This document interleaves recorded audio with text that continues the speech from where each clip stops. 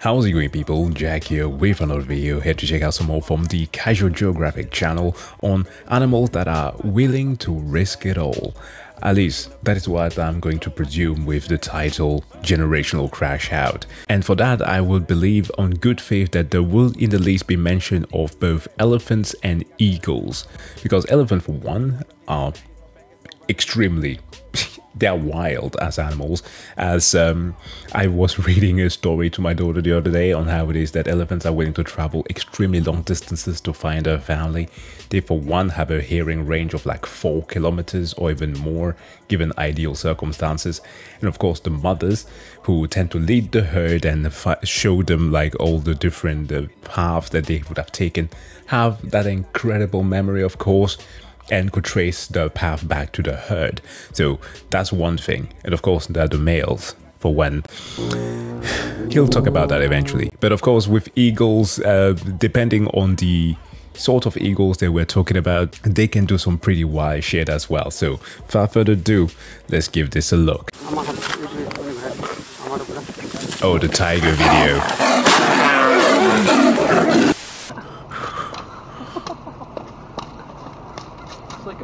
Backyard bully brawl. Crash out. Here's the definition, and here's the definition, but in picture. And Hold on. Urban Dictionary. What Crash say? out. Here's the definition. Someone who's constantly on the verge of losing their oh, and is ready to throw everything away at a moment's notice. Well, risk it all. Close. And here's the definition, but in picture. And if it's not clear now, it will be by the end of this video. Crash outs exist in all walks of life, you know what no. they say. Where there's a will, there's a way. For a Chris to get rocked by a Fresh Prince flick of the wrist. But today, we're gonna talk about the biggest crash outs in nature, and there's a lot to choose from, so some had to get left off. I won't be talking about hippos, honey badgers, or Cape buffalo. I've said my piece on this roid raging demon hydro horse on steroids. We already know Africa's Black Death is a hunter's nightmare for humans and lions alike, and I have an entire video on this biracial Black Air Force hate mongering Hufflepuff. Remember the honey badger? A meme that I made of that uh, during one of the uh, previous videos, imagining the menace that I can become. But what I will talk about are rhinos. Because I've said that rhinos are legally blind, terminally traumatized anxiety tanks that'll buck up to anything from a butterfly to a buffalo. Except I was wrong. Recent studies show that the eyesight of rhinos might not even be that bad. It's oh. just their attitude, which means that rhino fully punted a warthog purposely and unprovoked. While I thought that rhinos, because of their eyes being on the side, meant that they kind of saw things a bit more blurry because they have great sense of hearing and smell. So because they couldn't detect things as uh, being a threat or not, they would just either attack things as they saw them coming, or just don't engage in them at all because they can't distinguish. While this one perceived an assault on eight wheels and still went for a literal headshot. There's a reason why a group of rhinos is an honest to God crash, but they're not even the biggest crash outs in Africa. That would be elephants. like literally, they're the biggest. Whoever made this up actively helped escort people off the census, which they don't need help doing since elephants flatlined over 600 people last year. But it isn't until elephants hit musth that they really become crash out oh, kings. Yeah. Musth is when a sudden burst of hormones turns elephants into 12,000 pound drunk lusting frat boys. The word musth even comes from the word intoxicated, and a down bad bull's testosterone levels can spike 60 times higher than normal. And that's where the crash out comes in. No animal is safe from an entitled elephant that can't handle rejection. Not even baby elephants. Eating a toddler because his mom won't relieve you? Crash out. But the real degeneracy didn't show itself until humans got involved. Yeah, it's, it's that kind of story. Poaching is evil, we all know it, and it's often the older, more mature bulls that get hit the hardest, for obvious reasons. Oh, what wasn't expected was removing elephant OGs from the population meant that the younger, immature teenage bulls in musth got even more out of oh, pocket. Oh shit. And what do you get when you have unruly six-ton six pests with no father figure to keep them in line? I didn't think about it that way at all. Yeah, obviously, when the dads are no longer there to tell them, hey kid, listen, much happens once in a while, so you need to control yourself. they about to go wild. Mm, well, if I know. There was a period in the 90s where three young bulls that... Holy Jesus. What is that? What the Remember the whole thing about rhinos not being able to distinguish whether or not something is a threat? Well, the more you know. got rejected by their own kind, resorting to violating and killing not one, not two, not 10, but 63 rhinos. Fatherless behavior for an elephant apparently means turning a rhino from a tight end to a whiteout, and it wasn't until the season more mature bulls were brought back in that the rhino ravaging eventually stopped. And it's not just males that can choose violence. We can't forget that time an elephant traveled across India just to life deprive a 70 year old senior citizen while she was getting water. For context, that elephant escaped from the Dalma Wildlife Sanctuary and traveled over 100 miles to the Raipal village in Odisha. Being homicidal for over 100 miles straight is already menace behavior. What solidified And? it was that same herd pulling up Get to that back! woman's funeral later that day and paying everything but respects. And that same elephant grabbed her soul evacuated 0 HP body and proceeded to put her in the negatives. Basically, she got put on a shirt except the shirt was reversible. And after desecrating her corpse, Dessert was destroying the woman's house along with several others. Time to bring back. Time to bring back the Oprah meme. So how do you feel? How did that make you feel? Oh my god, that is so evil. And you know the elephant remembers it. They're not dumb, okay?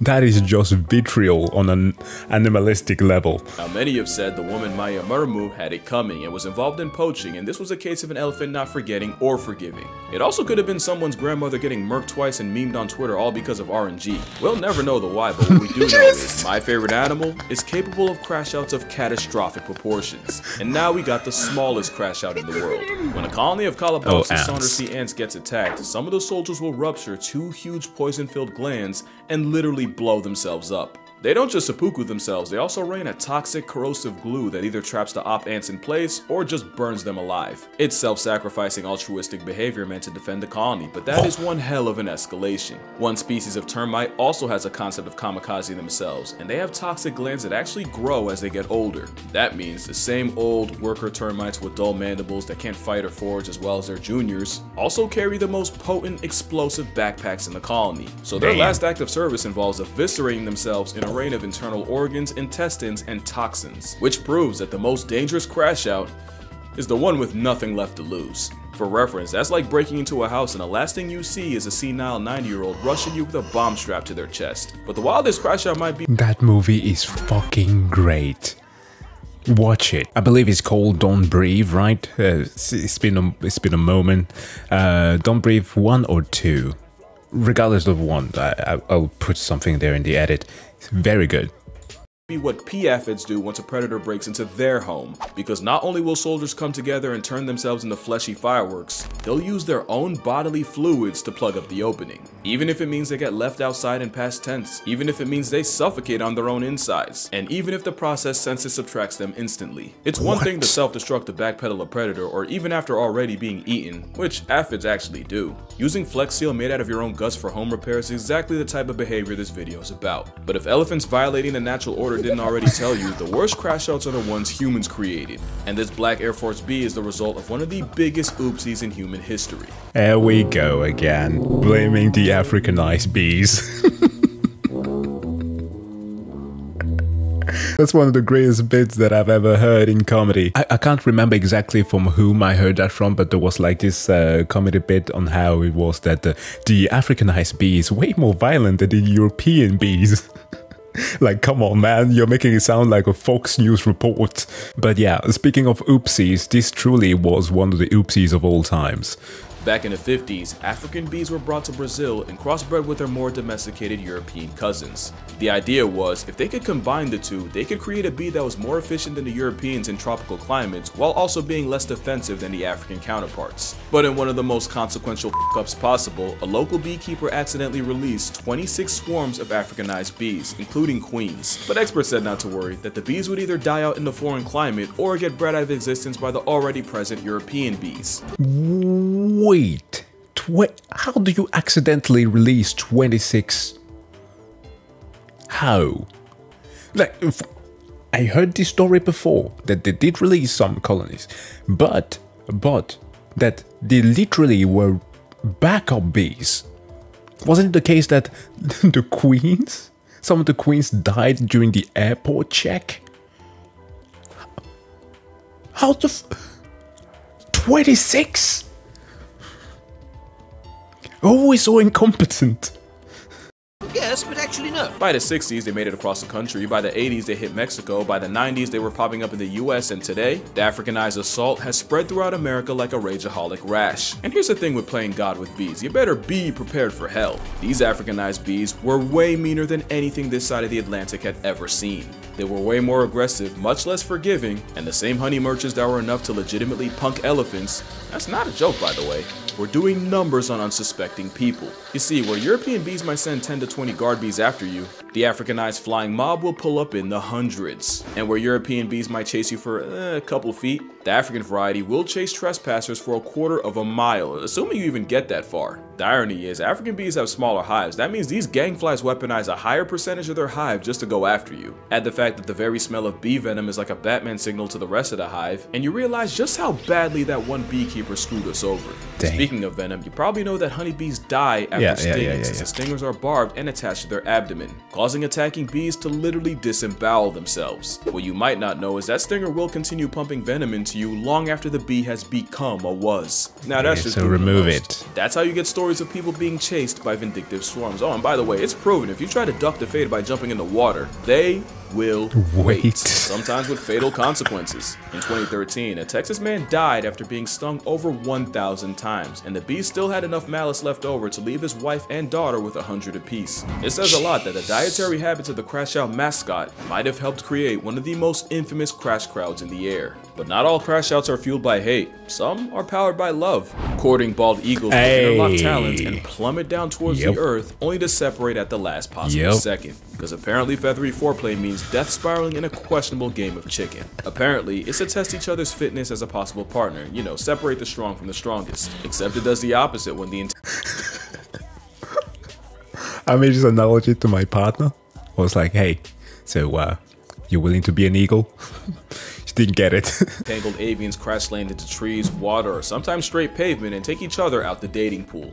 it was like to the equivalence of the stupid sayings that always come like, would you still love me if I was a worm? Like, okay, fine. Are you willing to be an eagle?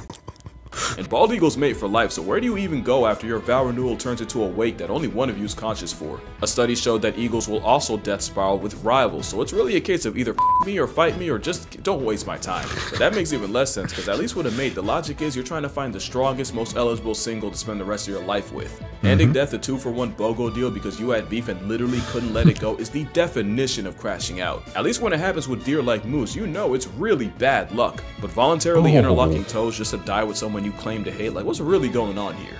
But that relationship's nowhere near as toxic as the house sparrows. It's like Tweety listening to NBA Youngboy. It's a honey badger with wings and an op to every other bird, but especially their own kind. Okay, so the crashing out is caused by the fact that house sparrows are monogamous and mate for life. They're also serial cheating air strumpets, and 15% of sparrow children born aren't even related to the male raising them. Cheating isn't a foreign concept to birds. Thoughts and prayers out to the penguin that got dogged Yeah, out, yeah, got his cloaca go. kicked by his wife's boyfriend, begged for her back, got beat again, only to get rejected and busted the third time. Yeah, no way he goes out that sad. Male sparrows that suspect their partner of cheating get their revenge by purposely feeding their children less, bordering on starvation. The thing is, he has no way of knowing which chick's actually his. He only goes by how much time the mother spends away from the nest. Basically, imagine your dad starves you within an inch of your life, all because your mom spent the equivalent of 10 extra minutes at the grocery store. But female sparrows ain't sweet either. The difference is she cheats with better genetic quality, or you could say high value males, while the male cheats to spread his seed as far as physically possible. Except if the female catches on to the cheating, she responds by slaughtering his entire family. Children Well, that's true human behavior, right? that's literally it. Like, you know the way that men tend to respond to cheating? That's that's that, right? They, they, they be slightly vindictive and uh, throw a tantrum and uh, do some kind of mean shit uh, when it comes to women. I'm generalizing here, obviously. She will murder your entire family. children and all. And it's scientifically proven that butchering the babies offers no advantage to the offending female. It's just pure love of the game. Cheating's never right, but when your get back gets children buried, you have lost the plot. Especially since the females most likely to commit baby cancellation are second wives. As in, they got with the cheater, got with oh. him due to cheating, only to wipe out the entire first family. Come also, I just thought about it. She also has no way of knowing which chicks are his. That means Yes. she really just life retires any baby sparrow she comes across. Yeah, that's a crash out of the highest order. And right up there with them, has to be this frog. It's a culinary crash dummy off the fact that the Argentine horned frog would rather choke to death trying to swallow something physically bigger than they are than just give it up. Scientists have found expired frogs with their stomachs torn open out of pure stubbornness. It's a gluttonous breathing pot of greed card come to life. Not only that, they're truly terrible is a pot of swimmers, greed. embarrassingly bad jumpers, and yo, they don't even rib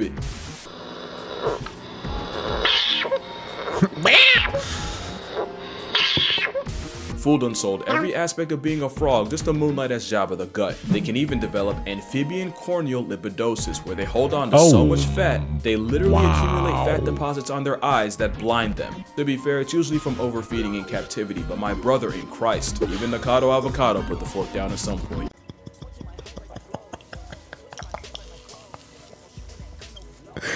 Yo, Like you have people being blinded by like cataracts, glaucoma, and uh, the diabetic, um, uh, what's the name? Diabetic retinopathy, right?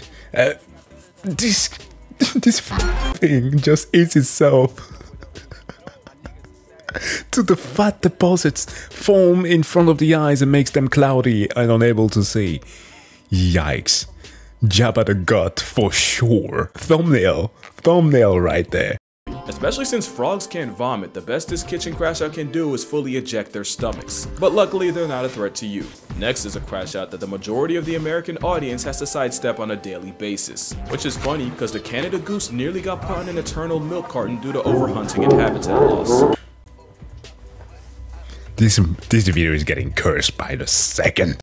In fact, we fully thought they were out of stock in the 50s, until a small flock was found in Rochester, Minnesota. And with the help of the Migratory Bird Treaty Act in the US and the Migratory Birds Convention Act in Canada, along with conservation efforts, the Canada goose was able to make a comeback. And humanity and geese lived happily ever. No. Absolutely not. Yet a cobra chicken came back with a vengeance. I called the sparrow an airborne honey badger. Nah, nah, nah.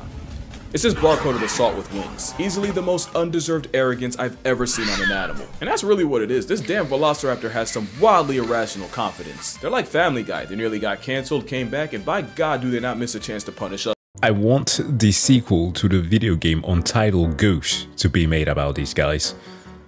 That you get out there instead of punking humans, you punk zoo animals. For it. Even Sully's heroic landing in the Hudson wouldn't have even been needed if a goose didn't try to run a fade with a plane. Just proof that you can get a lot of mileage at a false unearned valor. Cause it's a bluff. Geese nest on the ground, so they only really can respond to a threat to minor safety by implementing the honey badger method, by raising hell until you meet someone that takes you there. Add the fact that they've managed to lose their fear of humans, and you have a honk-happy threat to national security. I've even read reports of them apparently luring chasing dogs into Mother took down the special forces. honk honk, motherfuckers.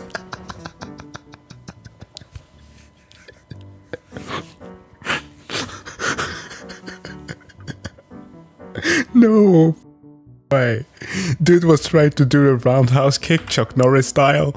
raising hell until you meet someone that takes you there. Add the fact that they've managed to lose their fear of humans, and you have a honk-happy threat to national security. I've even read reports of them apparently luring chasing dogs into deep water just to attack and harass them until they eventually drown in exhaustion. to be fair, you could just leash your dog.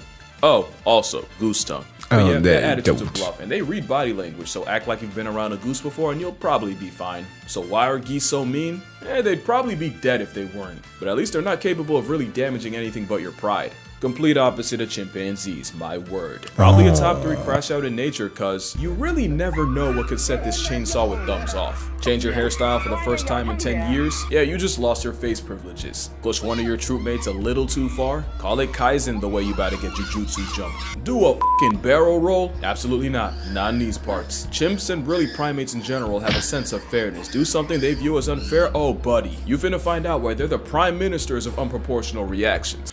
Yep, that's uh, they tend to be my go-to when it comes to the whole discussion of how informing systems of morality there are some animals that have this way understanding of uh, fairness. From where from we can then start to derive moral value so to speak.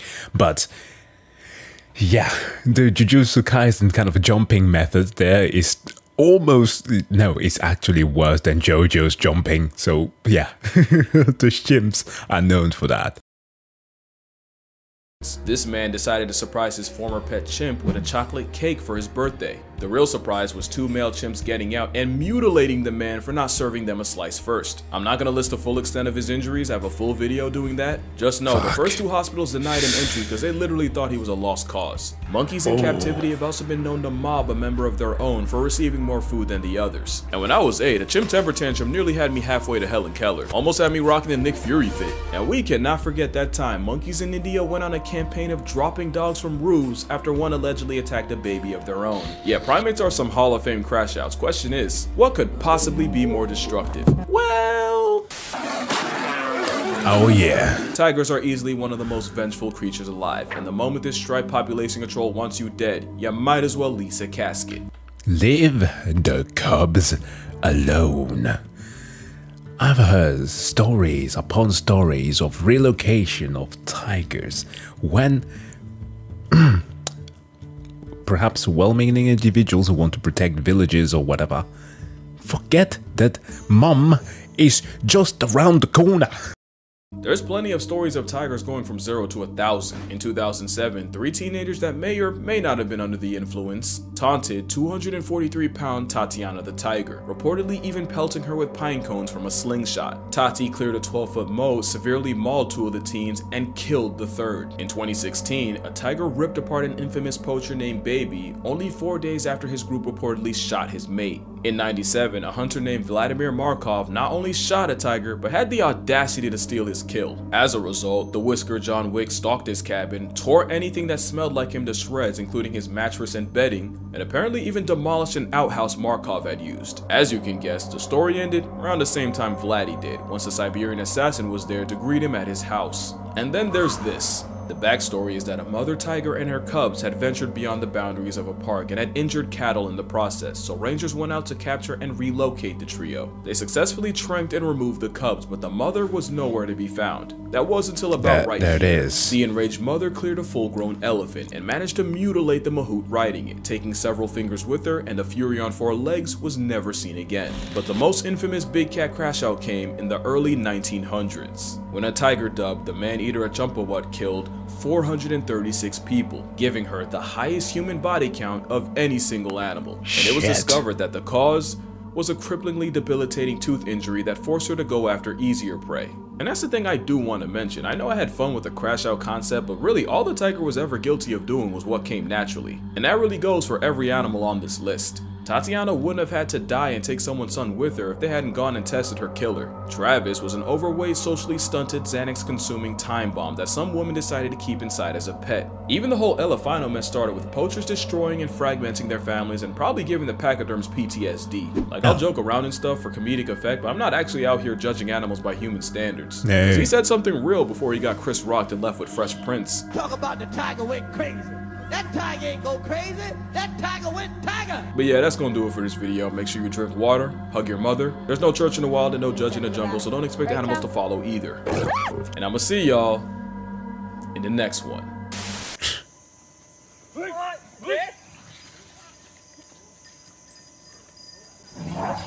You best not attack my human. Oh.